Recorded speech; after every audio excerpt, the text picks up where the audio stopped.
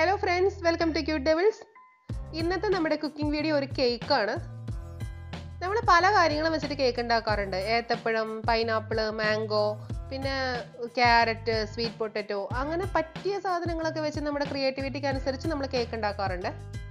പക്ഷേ ഇന്ന് ഞാൻ ഈ കേക്ക് ഉണ്ടാക്കിയിരിക്കുന്നത് ഒരു വലിയ ഫ്രൂട്ട് വെച്ചിട്ടാണ് ഏറ്റവും വലിയ ഫ്രൂട്ട് എന്നുള്ള വേൾഡ് റെക്കോർഡ് കിട്ടിയ നമ്മുടെ സ്വന്തം ചക്ക. നല്ല തേൻവരിക്ക വെച്ചിട്ടാണ് ഞാൻ ഈ കേക്ക് ഉണ്ടാക്കിയിട്ടുള്ളത്. നമ്മൾ ചക്ക വെച്ചിട്ട് പല കാര്യങ്ങളും ചെയ്യാറുണ്ടല്ലേ? ചക്കയട ചക്കയപ്പം പിന്നെ ചക്ക വരട്ടിയത് ചക്ക പായസം ഒക്കെ ചെയ്യാറുണ്ട്. പക്ഷേ ഈ ചക്ക കേക്ക് ഒരു ഡിഫറെന്റ് ടേസ്റ്റ് ആണ് കേട്ടോ അതുപോലെ തന്നെ ഈ കേക്ക് ഉണ്ടാക്കാനായിട്ട് നമുക്ക് ബീറ്റർ വേണ്ട മുട്ട വേണ്ട അതുപോലെ അവൻ വേണ്ട. വളരെ സിമ്പിൾ ആയിട്ടുള്ള രീതിയിലാണ് ഞാനിപ്പോൾ ഈ കേക്ക് ഉണ്ടാക്കി എടുത്തിട്ടുള്ളത് എങ്ങനെയാന്ന് നോക്കാം. ആദ്യം തന്നെ ഒരു പാത്രത്തിൽ കുറച്ച് വെള്ളം വെച്ചിട്ട് അതിലൊരു ആവിത്തട്ട് വെച്ചിട്ടുണ്ട്. നമുക്ക് ഈ ചക്ക ഒന്ന് ആവി കഴിച്ചെടുക്കണം ഞാൻ ആദ്യം ഒരു തവണ കേക്ക് ഉണ്ടാക്കിയപ്പോൾ ചക്ക ഫ്രഷ് ആയിട്ട് അരച്ചിട്ടങ്ങ് ഉണ്ടാക്കി. പക്ഷെ അത്ര ടേസ്റ്റ് ഉണ്ടായിരുന്നില്ല. ആവി കയറ്റിയിട്ട് ഉണ്ടാക്കുമ്പോഴാണ് നല്ല രുചി ഉണ്ടാവുക. ഒന്ന് ഒന്ന് വേവിച്ചെടുക്കാം. അധിക സമയമൊന്നും വേണ്ട. ഒരു അഞ്ച് മിനിറ്റ് ഒക്കെ ഒന്ന് ആവി കയറി എടുത്താൽ മതി. ഒന്ന് അടച്ചു വെച്ച് കൊടുക്കാം. അതുപോലെ തന്നെ ഞാൻ ഈ കേക്ക് ഉണ്ടാക്കാനായിട്ട് ഉപയോഗിച്ചിട്ടുള്ളത് റവയാണ്. മൈദയല്ല. മൈദയ്ക്ക് എന്തെങ്കിലും ദോഷം ഉണ്ടായിട്ടല്ല. റവയ്ക്ക് ഒരു പ്രത്യേക ടേസ്റ്റാണ് ഒന്നര കപ്പ് റവയായിട്ട് എടുത്തിട്ടുള്ളത്. അത് നന്നായിട്ടൊന്ന് പൊടിച്ചെടുക്കണം. ഇനി നമുക്ക് നമ്മുടെ ചക്കച്ചോള മിക്സിയിലിട്ടിട്ടൊന്ന് അടിച്ചെടുക്കണം. ഇത് നന്നായി ഒന്ന് പേസ്റ്റ് ആക്കി എടുക്കണം. ആദ്യം തന്നെ ചക്കച്ചോളേനെ ഒറ്റയ്ക്ക് ഇട്ടിട്ട് അടിക്കുക. അപ്പം നല്ല പേസ്റ്റ് ആയി കിട്ടും. എന്നിട്ട് വേണം നമുക്ക് അതിലേക്ക് ബാക്കി കാര്യങ്ങൾ ചേർത്ത് കൊടുക്കാനായിട്ട്. ഇതിപ്പോൾ ഇതാ നല്ല പേസ്റ്റായി വന്നിട്ടുണ്ട്. ഇനി നമുക്ക് ഇതിലേക്ക് ചേർക്കേണ്ടത് പഞ്ചസാരയാണ്. ഇത് നല്ല മധുരമുള്ള ചക്ക ആയതുകൊണ്ട് ഞാൻ ഇതിലേക്ക് ഒന്നര കപ്പ് പഞ്ചസാര ചേർത്തിട്ടുള്ളൂ. എനിക്ക് അത്ര പഞ്ചസാരയുടെ ആവശ്യമേ വന്നുള്ളൂ. മധുരം കുറവുള്ള ചക്കയാണെങ്കിൽ കുറച്ച് കൂടുതൽ പഞ്ചസാര ചേർത്ത് കൊടുക്കാം. പിന്നെ നമ്മൾ ചേർക്കുന്നത് സൺഫ്ലവർ ഓയിലാണ് ബട്ടർ ചേർക്കേണ്ടവർക്ക് ബട്ടർ ചേർക്കാം. ഇവിടെ ബട്ടറിന്റെ ടേസ്റ്റ് അത്ര താല്പര്യമില്ലാത്തത് കൊണ്ടാണ് ഇതെല്ലാം കൂടെ അടിച്ചെടുത്തപ്പോൾ ഇങ്ങനെ നല്ലൊരു സ്മൂത്ത് ആയിട്ടുള്ളൊരു ഇതായിട്ട് വന്നിട്ടുണ്ട്. ഇനി അതിലേക്ക് നമ്മൾ ചേർക്കുന്നത് അര കപ്പ് പാൽ. ഇപ്പോൾ അര കപ്പേ ചേർത്തിട്ടുള്ളൂ. വേണ്ടി വന്നാൽ പിന്നെ ചേർത്ത് കൊടുക്കാം.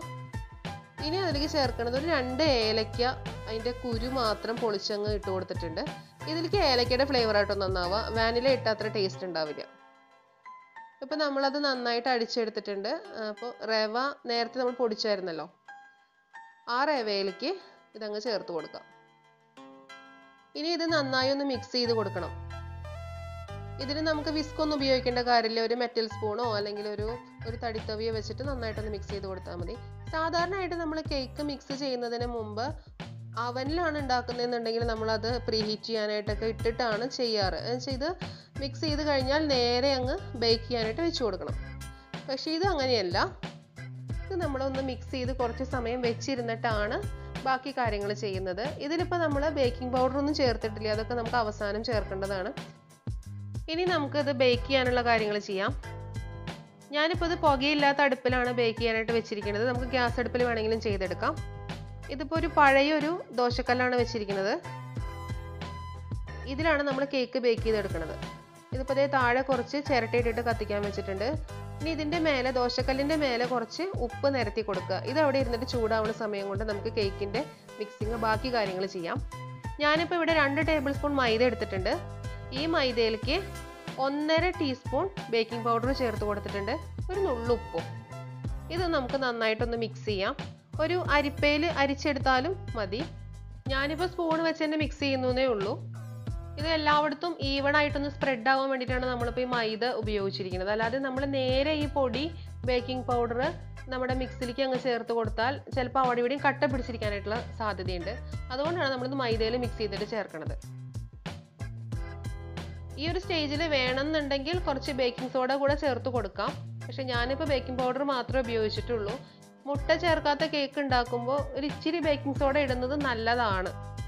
അതുപോലെ ചിലർ ചിന്തിക്കും മുട്ട ചേർക്കാണ്ട് കേക്ക് ശരിയായി വരുമോ എന്നൊരു ചെറിയ സംശയമുള്ളവരുണ്ടാവും. അങ്ങനെയുള്ളവർ ഒരു മുട്ടയങ്ങ് ചേർത്ത് കൊടുത്തുകൊണ്ട് പ്രശ്നമൊന്നുമില്ല. പക്ഷെ ഞാനിവിടെ മുട്ട ചേർത്തിട്ടില്ലെന്നേ ഉള്ളൂ. വെജിറ്റേറിയൻസിനും കഴിക്കാം എന്നുള്ളത് കൊണ്ട്. മുട്ട ചേർത്ത ദോഷമൊന്നുമില്ല. ടേസ്റ്റിന് വലിയ വ്യത്യാസമൊന്നും വരാൻ സാധ്യതയില്ല. ഇപ്പം നമ്മുടെ ഇതിലേക്ക് ആ മൈദയും ബേക്കിംഗ് പൗഡറും ചേർത്തിട്ടുള്ള മിക്സാണ് നമ്മൾ ചേർത്ത് കൊടുത്തിരിക്കുന്നത്. ഇത് നന്നായിട്ട് മിക്സ് ചെയ്യണം കേട്ടോ എല്ലായിടത്തേക്കും ഈവൺ ആയിട്ട് സ്പ്രെഡ് ആവണം നമ്മുടെ ബേക്കിംഗ് സോഡ എങ്കിൽ മാത്രമേ നമ്മുടെ കേക്ക് നന്നായിട്ട് വരുള്ളൂ. അതുപോലെ ഇതിപ്പോൾ നമുക്ക് ഇത്രയ്ക്ക് കട്ടി ആവശ്യമില്ല. ഇതിപ്പോൾ ഭയങ്കര കട്ടിയായി പോയിട്ടുണ്ട്. നമ്മൾ നേരത്തെ കലക്കി വെക്കുമ്പോൾ ഇത്രയും കട്ടി ഉണ്ടായിരുന്നില്ല റവ നന്നായിട്ട് കുതിർന്ന് വന്നപ്പോഴാണ് ഇതിങ്ങനെ ആയത്. ഇനി നമുക്കിതിലേക്ക് കുറച്ച് പാൽ ചേർത്ത് കൊടുക്കാം ഞാനിപ്പോൾ ഒരു കാൽ കപ്പ് പാലാണ് ചേർത്തിരിക്കുന്നത്. അപ്പോൾ നമ്മൾ ഇതിലേക്ക് ആകെ ഉപയോഗിച്ച പാൽ മുക്കാൽ കപ്പ് പാൽ. ഇപ്പോൾ പഞ്ചസാര കൂടുതൽ ഉപയോഗിച്ചിട്ടുണ്ടെങ്കിൽ നമുക്ക് ഇത്രയും പാൽ ചേർക്കേണ്ടി വരില്ല. കാര്യം പഞ്ചസാര വെള്ളമാണ്. അപ്പോൾ മുട്ട ചേർക്കുവാണെങ്കിലും പാലിന്റെ അളവ് നമുക്ക് കുറഞ്ഞു കിട്ടും. ഇതിപ്പോൾ നന്നായിട്ടൊന്ന് മിക്സ് ചെയ്ത് കൊടുക്കാം. നമ്മൾ കേക്ക് ഉണ്ടാക്കുമ്പോൾ എപ്പോഴും ശ്രദ്ധിക്കേണ്ടത് ബാറ്ററിന്റെ ഒരു കൺസിസ്റ്റൻസിയാണ് ഒരു റിബൺ കൺസിസ്റ്റൻസിയിൽ വന്നാലാണ് കേക്ക് നമുക്ക് നന്നായിട്ട് വരിക. അതുപോലെ തന്നെ എടുക്കുന്ന അളവുകൾ അളവുകളും കൃത്യമായിരിക്കണം ഇപ്പോൾ ഇതേ നമ്മുടെ കേക്കിന്റെ ബാറ്റർ ശരിയായിട്ടുള്ള കൺസിസ്റ്റൻസിയിലായിട്ടുണ്ട് ഇങ്ങനെ ആയി വന്നിട്ടുണ്ടെങ്കിൽ കേക്ക് നന്നായിട്ടുണ്ടാവും കേട്ടോ ഇനി നമുക്ക് ഇതിലേക്ക് ചേർക്കേണ്ടത് കുറച്ച് നട്ട്സ് ആണ്. ഞാനിപ്പോൾ ഇവിടെ കാഷ് നട്ട്സ് ആണ് എടുത്തിരിക്കുന്നത്. ഇതൊക്കെ ഓപ്ഷനിലാണ് ഇതൊന്നും ഇല്ലെങ്കിലും ഈ കേക്ക് നല്ല ടേസ്റ്റാണ് പക്ഷെ എന്നാലും ഇടയ്ക്ക് കടിക്കാനായിട്ട് എന്തെങ്കിലും കിട്ടിയാൽ നല്ലതല്ല? അപ്പോൾ അതുകൊണ്ട് ഞാനിവിടെ കുറച്ച് കാഷ് നട്ട്സ് ചേർത്ത് കൊടുക്കുകയാണ് ഇപ്പോൾ കാഷ്യൂ നട്ട്സോ പിസ്തയോ ബദാമോ നമുക്ക് കിട്ടുന്ന സാധനങ്ങൾ അങ്ങ് ചേർത്ത് കൊടുക്കാം. പക്ഷെ എനിക്ക് തോന്നുന്നത് റേസിൻസ് ഫിക്സ് അതുപോലെ ഡേറ്റ്സ് അങ്ങനെയുള്ള ഡ്രൈ ഫ്രൂട്ട്സ് ചേർക്കാതിരിക്കുകയായിരിക്കും നല്ലതെന്ന് തോന്നുന്നു. ഓപ്ഷനിലാണ് ഓരോരുത്തരുടെ താല്പര്യമാണ്. അപ്പോൾ നമ്മൾ അടുപ്പൊക്കെ അവിടെ ചൂടാക്കാനായിട്ട് വെച്ചിട്ടുണ്ടായിരുന്നു. അതിപ്പോൾ നല്ല ചൂടായിട്ട് നമ്മുടെ തട്ട് ചൂടായിരിക്കുന്നുണ്ടാവും. നമുക്കിതിനൊരു കേക്ക് ടിന്നിലേക്ക് പകർത്താം. കേക്ക് ടിൻ പ്രിപ്പയർ ചെയ്യുന്നത് എങ്ങനെയാണെന്ന് എല്ലാവർക്കും അറിയാലോ? ആദ്യം ഒന്ന് ഓയിലോ അല്ലെങ്കിൽ ബട്ടറോ വെച്ചിട്ട് ഒന്ന് ഗ്രീസ് ചെയ്യുക എന്നിട്ട് അതിനകത്ത് കുറച്ച് മൈദ ഇട്ടിട്ട് ചുറ്റും തട്ടി ഇങ്ങെടുത്ത് കഴിഞ്ഞാൽ നമ്മുടെ കേക്ക് ടിൻ റെഡിയായി. അതൊക്കെ അപ്പം തന്നെ ചെയ്യുന്നതാട്ടോ നല്ലത്. നേരത്തെ ചെയ്ത് വെക്കേണ്ട കാര്യമൊന്നുമില്ല. നമുക്ക് ബാറ്റർ അങ്ങ് ഒഴിച്ചു കൊടുക്കാം. കണ്ടോ? ആ ബാറ്റർ വീഴുന്ന കണ്ടോ? ആ രീതിയിൽ വേണം നമുക്ക് കേക്ക് ബാറ്റർ കിട്ടാനായിട്ട്. നന്നായിട്ടൊന്ന് തട്ടി കൊടുക്കാം. അതിനകത്തുള്ള എയർ ബബിൾസ് ഒക്കെ ഒന്ന് പുറത്ത് പോകാൻ വേണ്ടിയിട്ടാണ് നന്നായിട്ട് തട്ടി കൊടുക്കാം. എന്നിട്ട് ഇതിനെ നമുക്ക് അടുപ്പിലോട്ടങ്ങ് വെച്ച് കൊടുക്കാം. ബേക്ക് ചെയ്യാനായിട്ട് വെക്കാൻ പോവാണ്. അപ്പോൾ നമ്മൾ കേക്ക് ബേക്ക് ചെയ്യാനായിട്ട് പോവുകയാണ് നമ്മൾ നേരത്തെ വെച്ച തട്ടൊക്കെ നല്ല പോലെ ചൂടായിട്ട് ഇരിക്കുന്നുണ്ട് ഉപ്പ് അവിടെ ഇവിടെയൊക്കെ കുറച്ചൊക്കെ പൊട്ടിത്തെറിച്ച് പോയിട്ടുണ്ട്. കുഴപ്പമൊന്നുമില്ല. അതുപോലെ അടിയിൽ നല്ല കനലായിട്ടുണ്ട് കേട്ടോ ഈ കനലിന്റെ ആവശ്യമുള്ളൂ. ഇനി നമുക്കതിൽ തീ കത്തിക്കേണ്ട കാര്യമില്ല. ഒരു റാക്ക് വെച്ചിട്ട് അതിന്റെ മേലെ കേക്ക് ടിന്ന് വെച്ച് കൊടുത്തിട്ടുണ്ട്. ഇനി ഇതൊന്ന് അടച്ച് വെക്കുകയാണ്. ഞാനിപ്പോൾ ഒരു ചരുവം വെച്ച് അടച്ച് അതിന്റെ മേലെ ഒരു മൺകാലം കൂടെ കയറ്റി വെച്ചിട്ടുണ്ട്. ഇനി അത് അവിടെ ഇരിക്കട്ടെ കുറച്ച് സമയം. ഇപ്പോൾ ഒരു നാൽപ്പത്തഞ്ച് മിനിറ്റ് കഴിഞ്ഞപ്പോൾ നമ്മുടെ കേക്ക് ഇവിടെ റെഡി ആയിട്ടുണ്ട്. ഞാനിവിടെ സ്ഥിരമായിട്ട് അടുപ്പ് കത്തിക്കുന്നതാണ്. അതുകൊണ്ടാണ് അടുപ്പിൽ ഉണ്ടാക്കിയത് കേട്ടോ. ഇനിയിപ്പോൾ അടുപ്പ് കത്തിക്കാത്തവരാണെങ്കിൽ നമുക്ക് ഗ്യാസിൽ ഉണ്ടാക്കാം. ഇതേപോലെ തന്നെ ഗ്യാസ് സ്റ്റൗവിൽ വെച്ചിട്ട് നല്ലപോലെ തട്ടി ചൂടാക്കി എടുത്തിട്ട് പിന്നെ കുറഞ്ഞ തീയിലിട്ടിട്ടും വേവിച്ചെടുക്കാം. ഇപ്പോൾ ഞാൻ ഇതേ കേക്ക് ഇതേ ഒന്ന് ഡിമോൾഡ് ചെയ്യാണ്. നമ്മൾ ഈ പറഞ്ഞ രീതിയിൽ കേക്ക് ടിൻ പ്രിപ്പയർ ചെയ്യുകയാണെന്നുണ്ടെങ്കിൽ നമുക്ക് ഡിമോൾഡ് ചെയ്യാൻ യാതൊരു ബുദ്ധിമുട്ടും ഇല്ല. പെട്ടെന്ന് തന്നെ കേക്ക് അവിടെ നിന്ന് അങ്ങനെ വിട്ട് കിട്ടും. ഒരു പാത്രം വെച്ച് കമഴ്ത്തി ഇങ്ങോട്ട് തട്ടിയെടുത്താൽ കേക്ക് റെഡി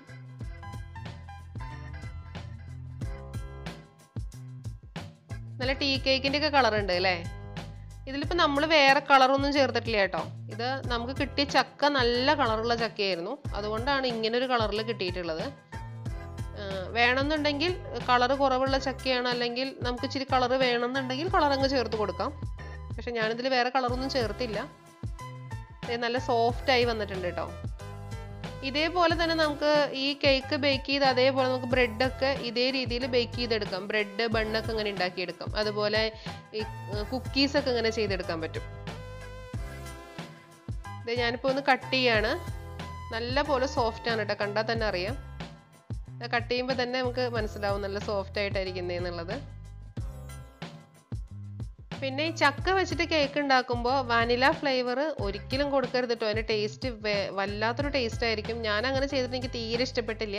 പക്ഷേ ഇതിൽ നമ്മൾ ഏലക്ക ഇട്ടിരിക്കുന്നത് ഏലക്ക ഇട്ടപ്പോൾ നല്ലൊരു മണമാണ്. നല്ല ടേസ്റ്റാണ് ഞാനിപ്പോൾ രണ്ട് ഏലക്ക ഇട്ടിട്ടുള്ളൂ.